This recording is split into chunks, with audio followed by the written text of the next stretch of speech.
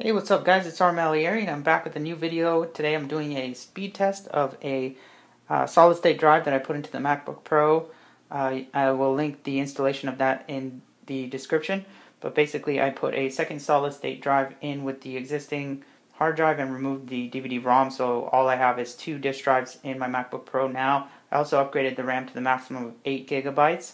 So this is going to be the first boot and I'm going to show you how quickly it's going to boot into uh, OS 10.7 Lion. Uh, so go ahead and check this out, guys. Um, this is going to be a great video, so stay tuned.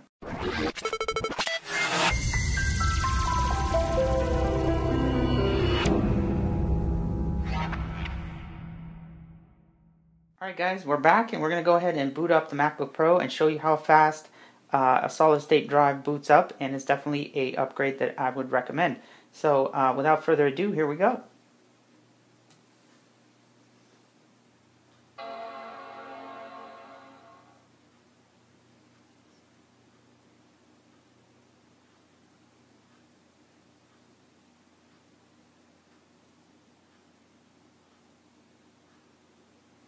Alright guys, so you can see that was pretty darn fast from the time it took to hit the chime to uh, it loading the desktop and the dock showing everything being there.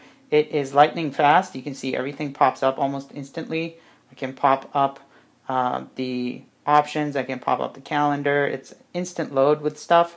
Uh, I can go ahead and open up the Mac App Store. Just look how quickly it loads up.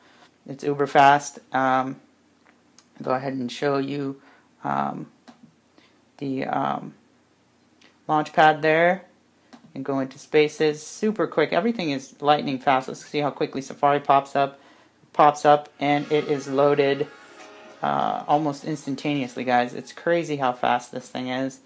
Uh, we'll go ahead and just load a web page and just see. It goes straight to Apple's website. Everything is real snappy and uh, uh lightning fast. So you guys are looking to upgrade your computer without buying a new one throwing in a solid state drive and maxing out the RAM is highly recommended.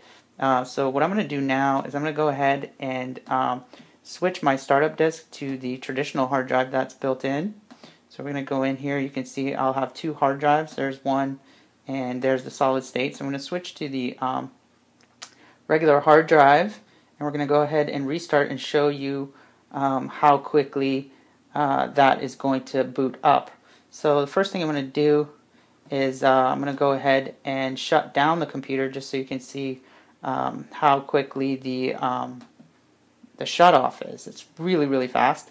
So I'm going to go in here, just hit shut down, and boom, it should be off just that quick. It's amazing how fast this stuff is, guys. So what we're going to do now, we've switched over to the traditional hard drive, and I'm going to go ahead and boot that up and show you how quickly that boots up. Alright guys, we're back and we're going to go ahead and boot up the regular traditional hard drive uh, just to show you the difference in the boot times. It's pretty significant, so let's go ahead and boot up the uh, standard hard drive.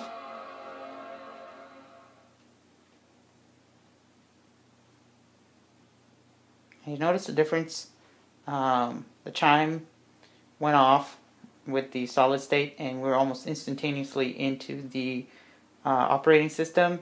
Here you can see right away we're getting the spinning uh, ball even though the RAM memory is um, maxed out.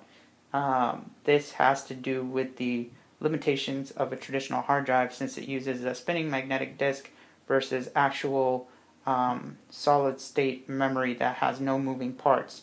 Um, it's obvious to see the difference in time. Um, it's pretty significant. So um, looks like it might finally just want to begin to boot. Um, it's well into, I would say, you know, going into 30 seconds here, and we still haven't gotten in. Um, let's see what happens now. Still trying to boot. Major, major difference, guys. Now, both of the uh, boot ups that I did are with um, clear profiles, so there's no um, user data whatsoever uh, into these um, boot up profiles, uh, as you can see. So there shouldn't be any third-party applications getting in the way of the boot. Uh, this is merely a difference in the technology of the hard drives. Um, so you can see it's still giving us the spinning beach ball I don't know if you can see it, but I'll move my cursor. It's taking quite a bit of time for the uh, hard drive to access the data and bring it up for us. It's still trying to boot. Um, and finally, here we are. So you guys, just by looking at this, you can tell uh, there's nothing wrong with the hardware. It's the exact same hardware that booted up lightning fast a second ago with the solid state drive that is um, performing this way. So just imagine the um, boost in performance you're getting by making a simple upgrade of your hard drive. So uh, it is very, very significant, and um, I highly recommend it for you guys. You should definitely, if you own a MacBook Pro laptop, the first thing you should do is uh, upgrade its hard drive to a solid state drive.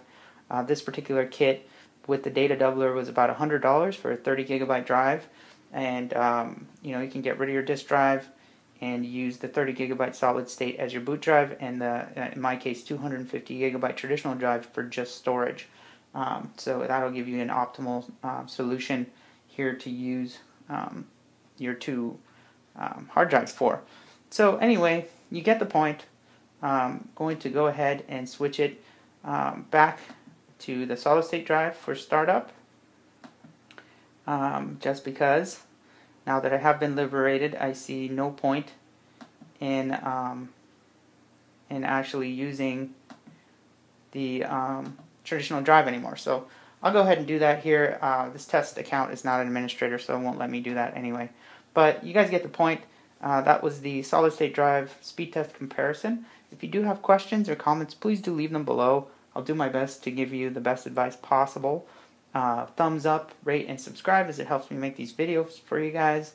And uh, stay tuned because I'll have lots more coming. You can follow me on Twitter at rmalayeri or on the web at iowasapadvice.com. As always, thank you very much for watching. Until next time, I'll see you later. Peace.